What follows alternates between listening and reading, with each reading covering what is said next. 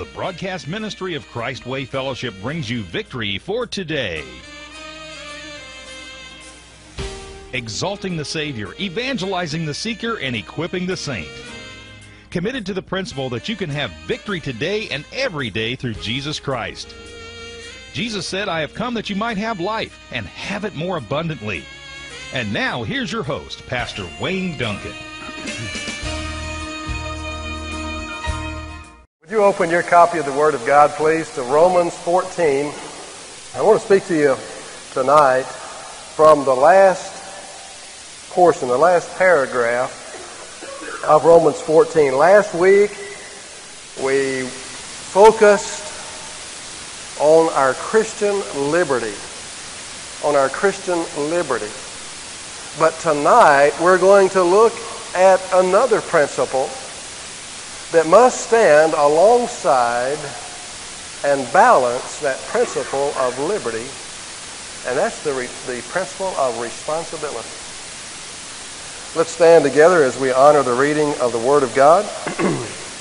you follow along in your translation. Verse 13, Therefore let us not judge one another anymore, but rather determine this, not to put an obstacle are a stumbling block in a brother's way. I know and am convinced in the Lord Jesus that nothing is unclean in itself, but to him who thinks anything to be unclean, to him it is unclean. For if because of food your brother is hurt, you are no longer walking according to love. Do not destroy with your food him for whom Christ died. Therefore, do not let what is for you a good thing be spoken of as evil. For the kingdom of God is not eating and drinking, but righteousness and peace and joy in the Holy Spirit. For he who is this way serves Christ, for he who in this way serves Christ is acceptable to God and approved by men. So then, let us pursue the things which make for peace and the building up of one another. Do not tear down the work of God for the sake of food. All things indeed are clean, but they are evil for the man who eats and gives offense. It is good not to eat meat or to drink wine or to do anything by which your brother stumbles. The faith which you have, have as your own conviction before God. Happy is he who does not condemn himself in what he approves. But he who doubts is condemned if he eats because his eating is not from faith, and whatever is not from faith is sin. Let's pray. Father, we're so grateful for this wonderful day that we've had, this wonderful day of experiencing God, uh, not just through the last hour and a half in our discipleship training, but experiencing you throughout this day. As we've opened your word, as we have studied it during our Sunday school hours, as we have opened your word and proclaimed it, exposing the truth in your word, showing the pictures of salvation there. And Father, we're grateful for the experience that we've had of worshiping you and sensing your presence right here in our midst. Now, Lord, we pray in the name of Jesus, the name that's above every name, that you will bind Satan and that you will cast him from our midst tonight. Father, I pray that each one of us will get what you have to say to us. That we might, each one, go away from this place tonight knowing that we have heard a word from God for us. Lord, we're grateful that you speak to us all, but we know that you long to speak to us each because you don't just love us all, you love us each. Now help us, Lord, to rightly divide your word tonight is my prayer in Jesus' name. And all God's people said, Amen. Would you be seated, please? dress as I dress and do as I do, for that's the only way I'll get along with you. you know, and I know, and it's sad that there are churches, there are fellowships that could put that on the heading of their bulletin. Because their great concern is that everyone conform. Now, maybe you have been involved in a denomination or a church like that sometime in the past, and it's not our purpose tonight to put those people down. Our purpose tonight is simply to expose the truth. That's what we seek to do when we open, open the Word of God. And you've been in those, those circumstances, I'm sure, where there was just a certain type of translation that you were supposed to use of the Word of God. There was a certain style of haircut you were supposed to have. There was a certain mode of dress that you were supposed to come in. There were certain attitudes. There were certain, uh, well, you just name it. Go on and on. You can, you can fill, fill that list up. You know what I'm talking about. And yet it is so contrary to what the Word of God tells us about the liberty that is ours in Christ. Now, last week, as we looked at that first paragraph in chapter 14, we were dealing there with the circumstance that was going on in Rome at that time where people were coming in from Judaism, they were coming in from paganism, and as they came in, they brought certain uh, uh, teachings, certain understandings, certain scruples that they had, that they had been taught, they'd been brought up by certain certain observances with a Jew. It had to do a good deal with the observance of certain days of the week and certain days on the calendar of the year. The Passover, Yom Kippur, the Sabbath, of course. And it had to do with days. With the pagan, most often, and with the Jew, it had to do with diet. You recall all those uh, very uh, careful uh, dietary laws that we find over in the Old Testament in the book of Leviticus. And then add to that the pagans that were coming into the church, that were coming from a circumstance where animals were being sacrificed to demons that were posing as gods. And they were very scrupulous about not eating that meat that they would buy at the, at the market, the meat market, for fear that they would be entering into some kind of a, uh, of a union or fellowship with the worship of those false gods. And so they came into the church with these scruples, with these, with these hangovers, with these things that were carried over from the way they had been raised up. Now, we're not any different than that. Depending on your age group here tonight or what denomination uh, you were raised in, and we've got people that have come into temple from all kinds of denominations, from all kinds of backgrounds. We're a pretty diverse group. And, and, and you have brought some of those things with you, and I have brought some of those things with me. And last week when we were talking about the weak brother, that one that is still bound up in those things, and the strong brother, the one that, that understands that we have liberty regarding the things that are morally uh, without any, uh, any uh, expression in the Word of God. And did you kind of go away feeling like I did? That I'm, I'm not a weak brother, but I'm not really a very strong brother either. You see, the truth is, we're all kind of mixtures, aren't we? We're all kind of mixtures of weak and strong. We've all come up with certain things ingrained in us about what is right and what is wrong. Maybe something the Word of God doesn't speak at all about. It may be some habit. It may be some practice. It may be some observance of a special day that we grew up with. And, and so we still kind of feel a little uneasy when it comes to to violating our conscience and going on and, and practicing that liberty. We find ourselves kind of an, a mixture of weak and strong. It's just like over in the book of 1 Corinthians when it talks about the spiritual man and the carnal man, both Christians. One of them is the spiritual man, the man that has Christ on the throne in his life. The other one is the carnal man who has Christ in his life but not leading his life. And you know, we're all sometimes kind of a mixture of that too. There are days that we seem to be really spiritual people. And then there are days that we seem to be very carnal. And there are moments in a day when we seem to be spiritual. And there are moments in that same day when we, uh, when we sense ourselves to be pretty carnal. And it's the same way when it comes this matter of the weak brother and the strong brother. And when he's speaking here about the weak brother, what he is, what he is really zeroing in on is he is zeroing in on the new convert, the new believer who has just received the Lord Jesus, has just come to Christ in faith, had his sins washed away by the blood of the Lamb, has come into the faith, come into the family of God, and is now part of the church, but he's so new that he hasn't understood from the Word of God that there, there is great liberty in the Christian faith.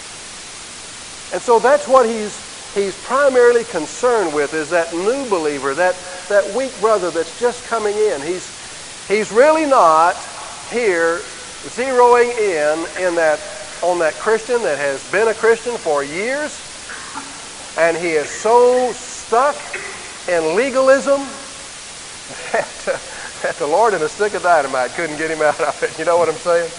I mean, they're just those that that's they're dyed in the wool legalists. That's the way they're going to live their lives. That's the way they're going to view everything, and except for a real intervention from the from the, the Lord, that's the way they're going to live. They're just going to be like that. There's not much you can do about it. Now, in a circumstance like that, I don't believe that the the Word of God teaches us that we're to be a slave to those kind of people. That we are to those of us that are coming to an understanding of our liberty in Christ, that we are to enjoy and walk in that liberty. And we're to lead the new believer, the new convert, to understand what great liberty he has. But as we look at this together tonight, now we're moving from that, that focus on liberty to a focus on responsibility. Viktor Frankl, a well-known Christian psychologist, has said he's from Europe, and he has said that he very often chides his American audiences, and he and he not only chides them, but he also seeks to warn his American audiences that if we're not very careful, that the liberty that we enjoy in this country is going to turn into sheer arbitrariness. And he says that just as we have the Statue of Liberty in New York Harbor, that we ought also to construct a statue of responsibility in San Francisco Bay in order that it might balance. I can say amen to that, can you? I believe we need something like that.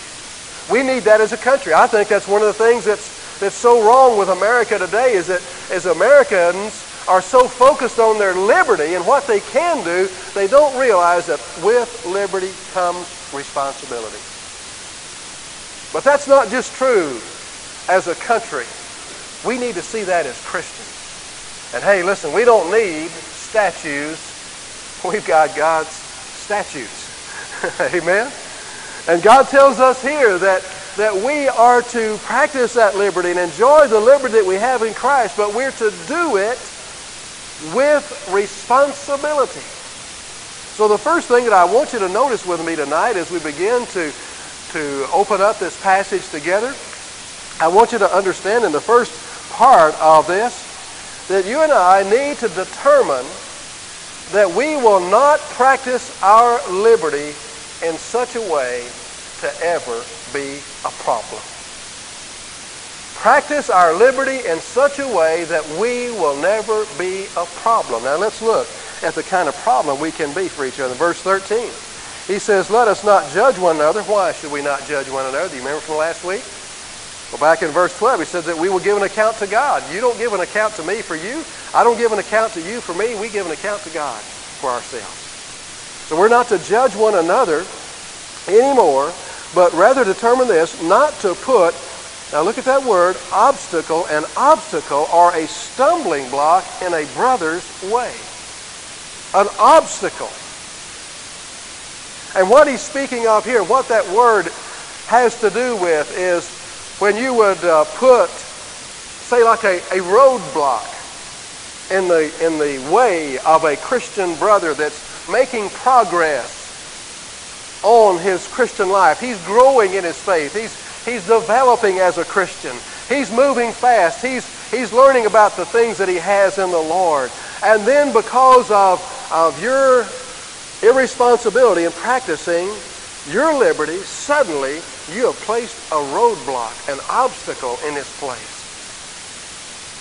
The next word that he uses there, the next two words, stumbling block, that really has to do with a snare or a trap.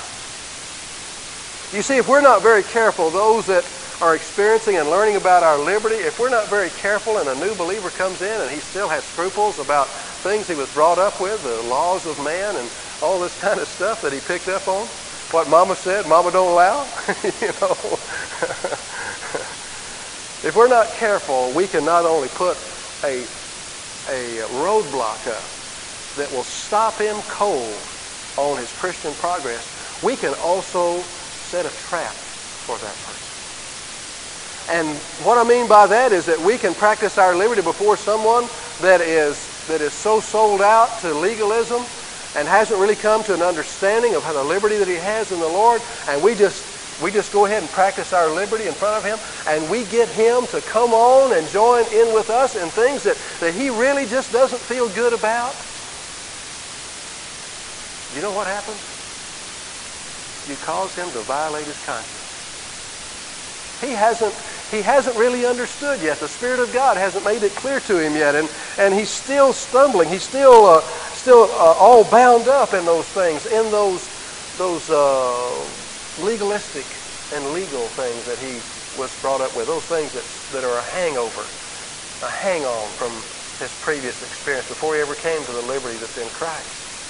So we need to practice our liberty in such a way that, that we don't become a problem to a brother. We don't want to cause someone to hit a roadblock on his progress toward fulfilling his, his uh, Christian life. And we don't want to make a trap, set a trap for him so that he falls into a snare just because of the fact that, that we are, are practicing our liberty. And we encourage him to come along and do what we're doing, and, and uh, we can really cause a problem there. Donald Grey Barnhouse has said it like this. Now, we have, as Christians, before I, I give you this quote from him, let's just talk about this for a minute. We have a broad, broad way when it comes to the liberty that we have in Christ. Now, we're not talking about things that the Word of God speaks clearly about being wrong. We're not to do those things. In the next verse, he says, I am convinced that nothing is unclean of itself. He's not talking about, he's not talking about adultery. He's not talking about uh, uh, fornication. He's not talking about pornography. He's not talking about, uh, well, you just fill in the blanks. He's not talking about things that the Word of God is clear on. He's talking about those things that have really no moral connotation to all, at all. Those things that are that we are at liberty to enjoy. And so the Christian, here's what Donald Grey Barnhouse says. He says, we have a broad plain on which to travel. But the Christian, by his responsibility, may choose to walk the sharp edge of the sword. We've got liberty. But friend, listen, we're not supposed to practice that liberty before someone that we are going to cause to hit a roadblock or fall into a trap. Now let's move on. We'll see something else here that he says that we are to be careful about. Verse 15, he says, don't practice your food. Now remember, he's dealing with the circumstances that were going on right then. He was dealing with, uh, well, something that might have been, uh, something that might have been, say, 25 or 30 years ago, and maybe still a problem for some folks that, that were raised in, uh, in Catholicism. No meat on Friday, right? Remember when you went to school and you passed, you, you went down the tray, you got that tray and you went down the, the school lunch line, and you always had that rotten fish on Friday? That was, you remember that, don't you? and uh, that was because that there were people that would be offended if there was meat served. Now that that is just an illustration. I don't mean to I don't mean to make fun of anybody by that. Don't take that wrong if that's part of your background. But but here's a perhaps modern way of interpreting this. He says in verse 15, not to let your food, uh, for for if because of food your brother is hurt, is hurt. Now someone might get saved out of a denomination that has dietary laws. They come in here to temple to uh, potluck and praise night or Wednesday night or one of our suppers, and they found out we'll eat anything that won't eat us first. And I hear a big amen. That's right. And they're offended by that. You see?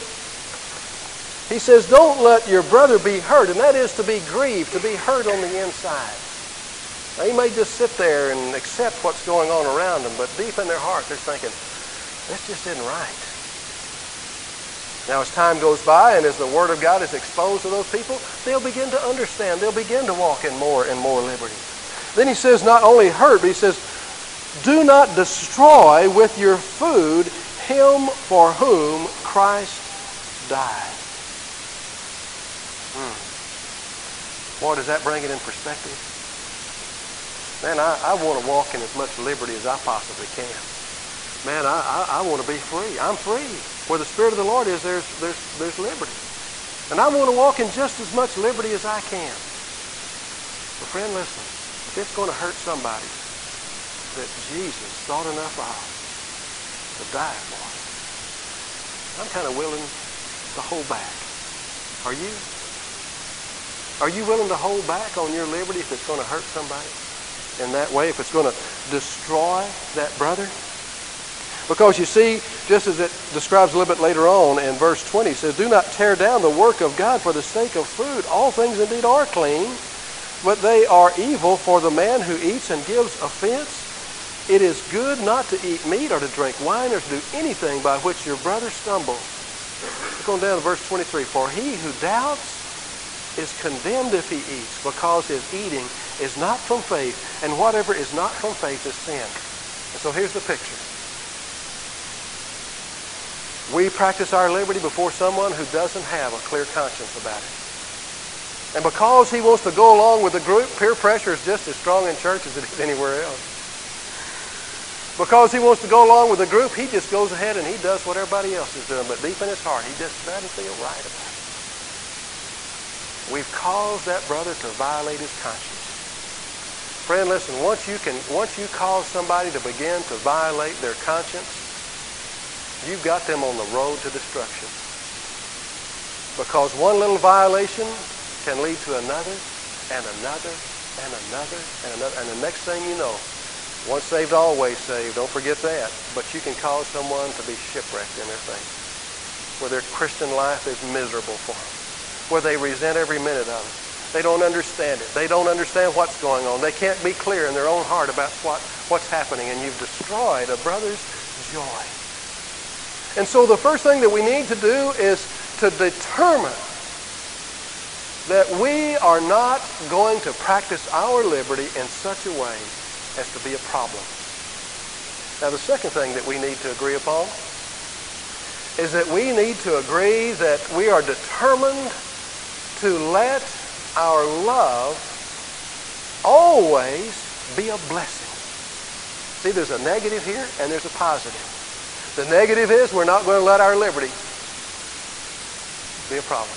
And the positive is we're going to let the love of God that's shed abroad in our hearts by the Holy Spirit to be a blessing to all. Look with me, verse 16. He says, Therefore, do not let what is good, what is a good thing, be spoken of as evil, for the kingdom of God is not eating and drinking, but righteousness and peace and joy in the Holy Spirit. I love that verse. When I pray for Glenda, I, I, like to pray that the Lord will just fill her day with righteousness, peace, and joy in the Holy Spirit. You see, it's so sad. It is so sad that so many have been convinced that Christianity is keeping a bunch of rules.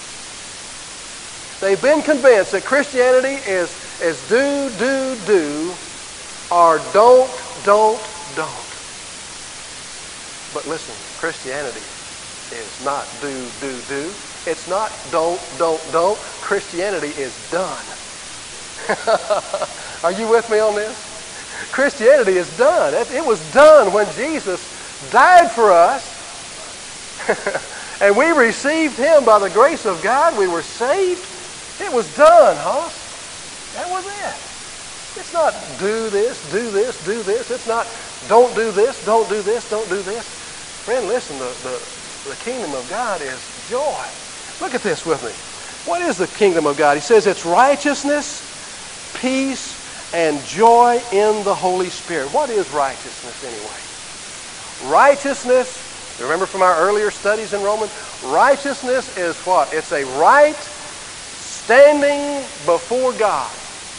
We are declared to be righteous by God based on the sacrifice of Christ and our union with Him. Amen. That's the kingdom of God. You're not going to get more righteouser as far as your position. Now, you can get more righteous in your practice, but as far as your position, you're as righteous as you're going to get. That's right. I'm not discouraging you from moving on and trying to, to, to, to uh, progress in your Christian life, but as far as the declaration of righteousness, that came when you received Christ. The kingdom of God is righteousness. The kingdom of God is peace. Then listen, if you're in the Lord Jesus Christ, and if you've been saved by the grace of God, you have what few people in this earth have. You've got peace with God. It's not that God is angry with us. It's that man is angry with God. That's what reconciliation is all about. It's not, it's not reconciling God to us. It's reconciling us to God. Righteousness peace. And listen, friend, if you got righteousness and peace, you ought to be ate up with joy. Is that right? Say right. Right. Yeah, that's right. Man, if you got if you are walking in that righteousness and peace that you've got in the Lord, you ought to be just filled with joy. I don't care. It doesn't matter what's going on in your life. There ought to be somewhere in your heart, ought, there ought to be a little shouting place where you can go and just get joy. because things are cool between you and God. That's right. That's right. Now he says here that that's, that's what the kingdom of God is. Now look in verse 19, and here's another way that we can determine that we are going to, by our love, always be a blessing. Look in verse 19. So then let us pursue. And that word for pursue is to hunt down relentlessly. That's what that word means.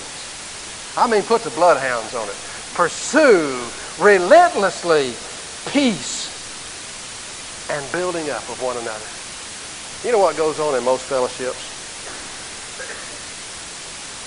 I'm just going to tell the truth tonight about this. What goes on in most fellowships, most Christian groups, is put down. You know that? Put down. This group putting that group down. This individual putting that individual down. Friend, listen, that's exactly the opposite of what the Word says.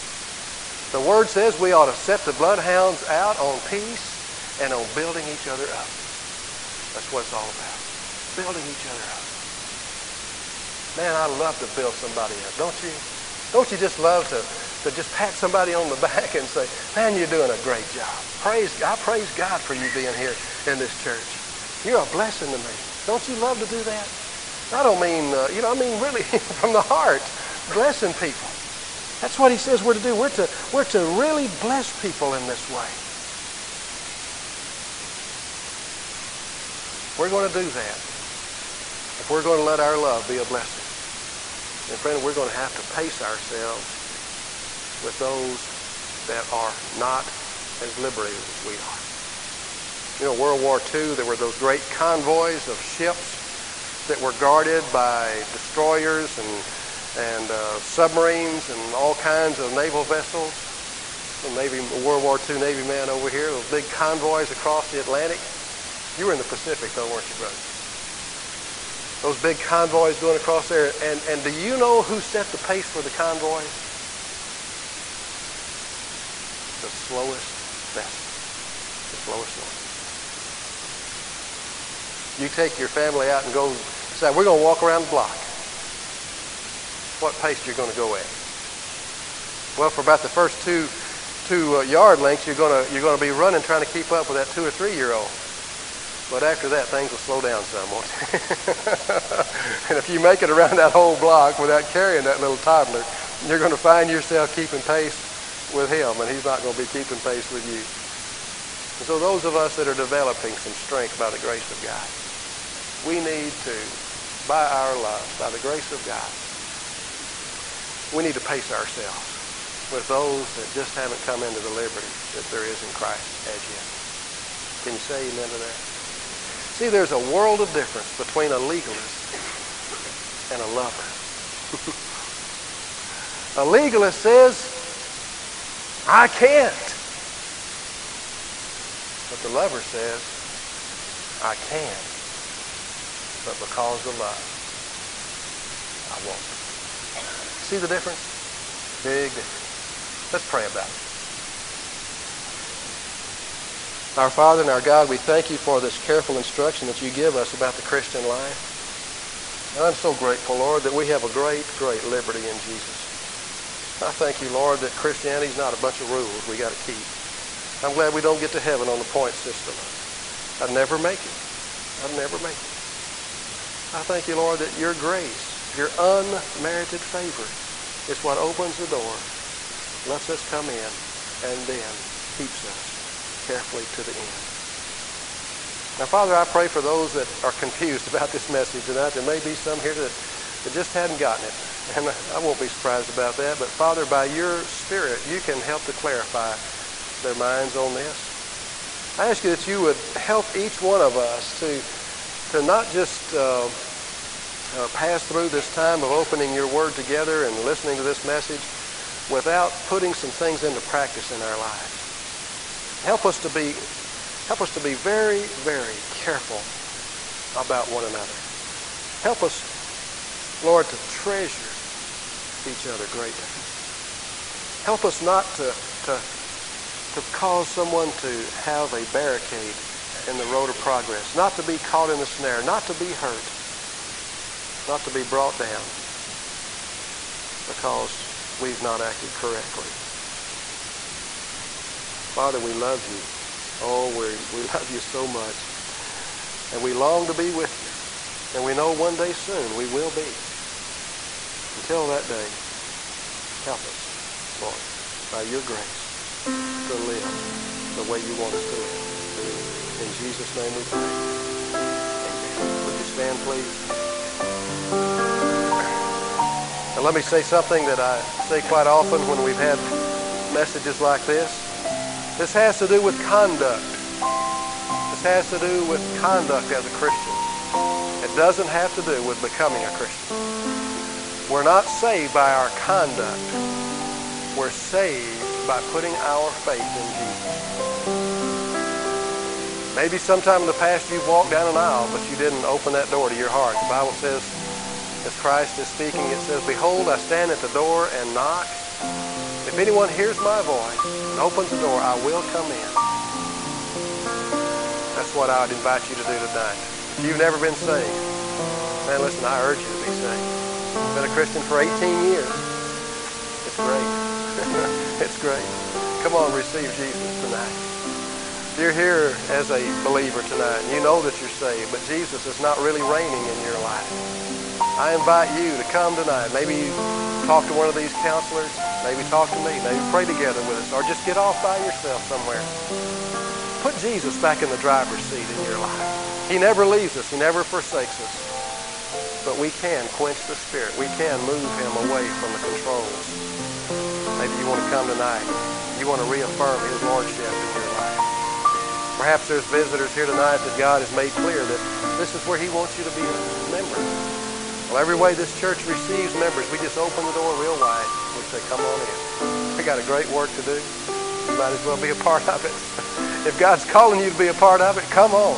Man, come on. It's going to be great. You come now. Nellie is playing and Waylon is going to sing. Let me ask you to bow your heads, close your eyes, seek the Lord for your own needs tonight.